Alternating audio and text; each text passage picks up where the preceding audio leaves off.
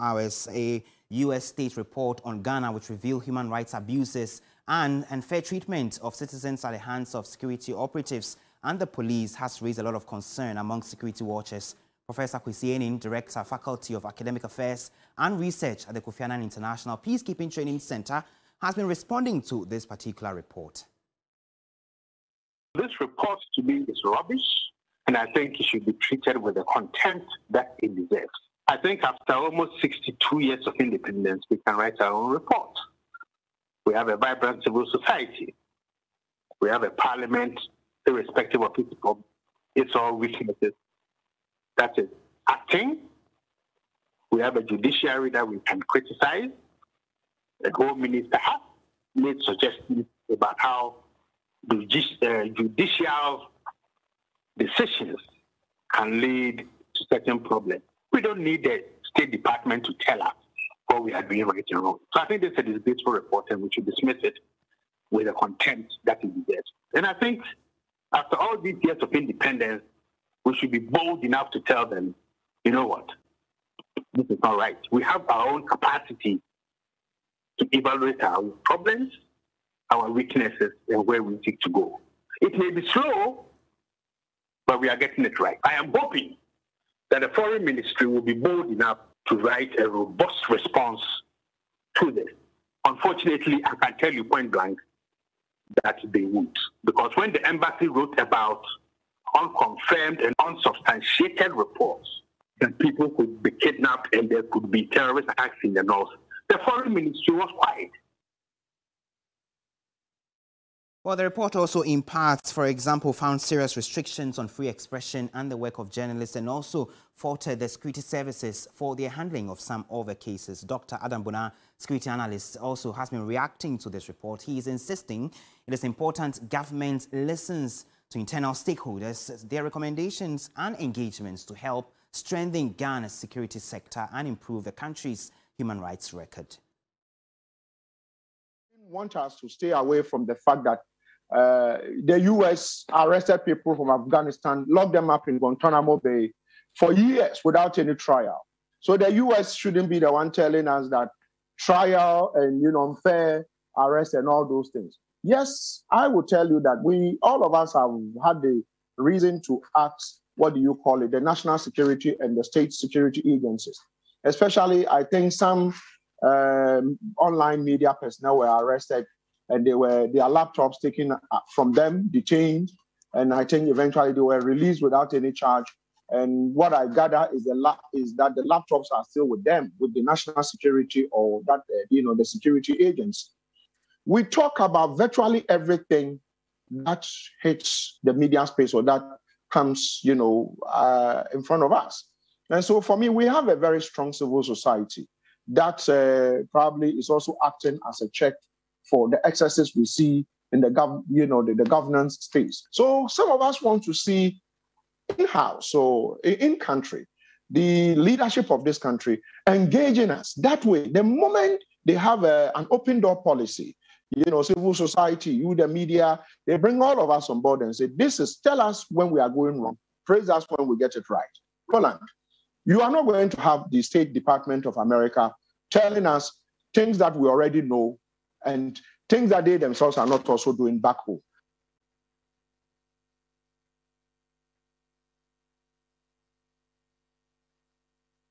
So security analyst Dr. Adam Bonaa there. We're going to be running through some of the highlights of this particular report with respect to the human rights violations and abuses specifically, and then connect to former Amnesty International uh, country director Robert Akoto Amoafo. So we have a conversation on this particular subject. We know that, among other things, the report is raising serious concerns of cruel and inhumane handling and treatment of some citizens at the hands of state officials and other governmental organizations. Let's go on to Zoom now and speak to Robert Akoto Thank you, Robert, for joining us. So this is a report that is citing Ghana for gross human rights abuses, you know, in the period under review. From where you sit as a former country director, Amnesty International. I'm sure you've been observing the landscape. What do you find?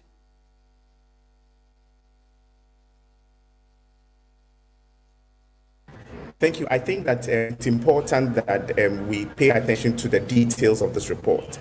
I understand that certain quarters have concerns that America that has issues is raising, uh, is raising these issues.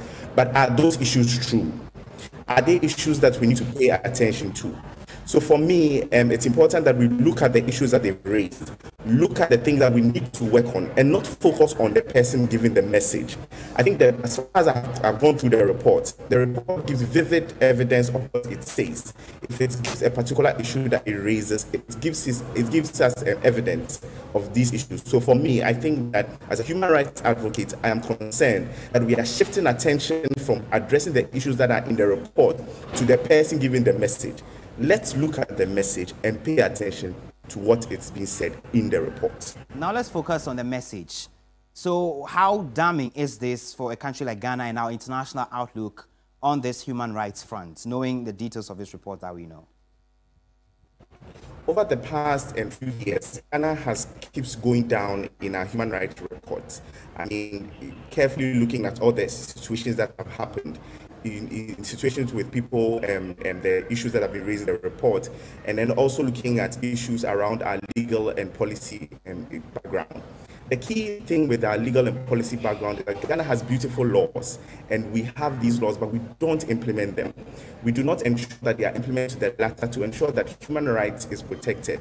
How many people are even aware of Chapter 5 of the 1992 Constitution that talks about our basic human rights? So those are the issues that I think are important. It's damning, it's something that is not right. We have had downgrade on various platforms, including the democracy and uh, access to justice issues. So for me, I think that this is worrying and we need to pay attention um, to these issues.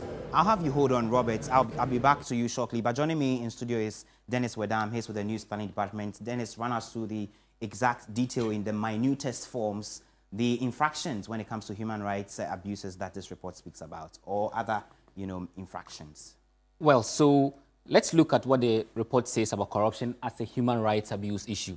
So for instance, the report raises questions about how Ghana has been able to fight corruption.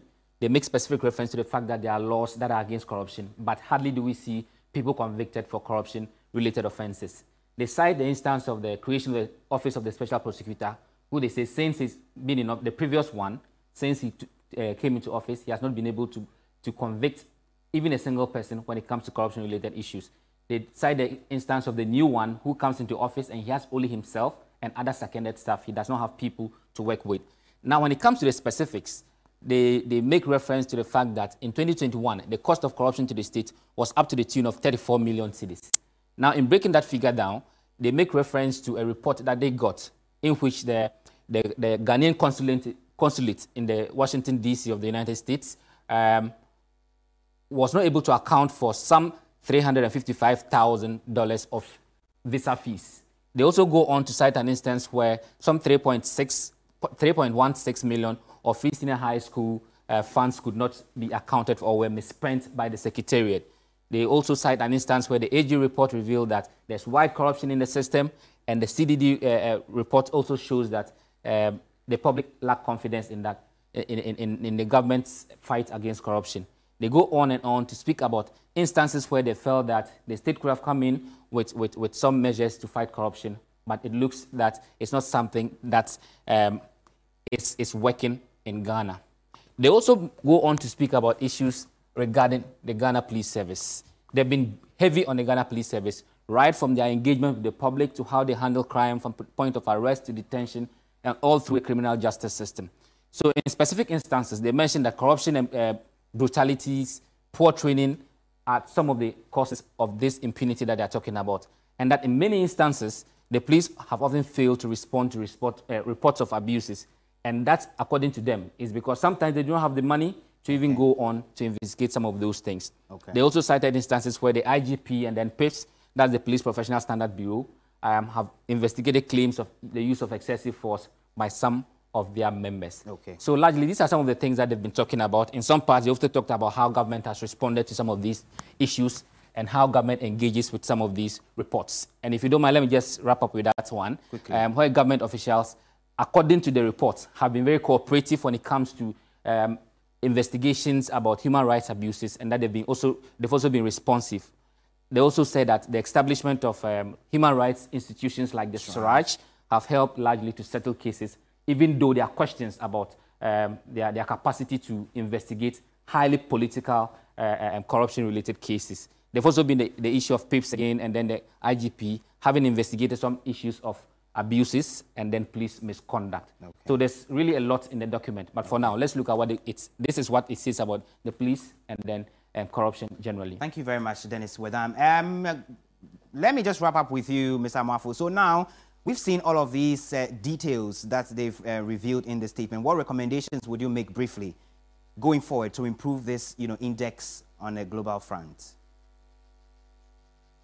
One, I think that government should pay attention to the details, as I mentioned before. At least let's see a convening to discuss this report. For me, I think that when these reports come, it's important that we have civil society, we have the government agencies responsible for human rights to review this report and look at the issues that have been raised and use this as a background to work towards addressing these issues.